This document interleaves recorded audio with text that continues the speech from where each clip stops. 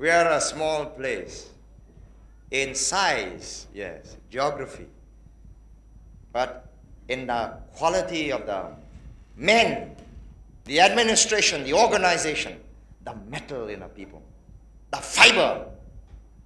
Don't try. That's why we got booted out, you know.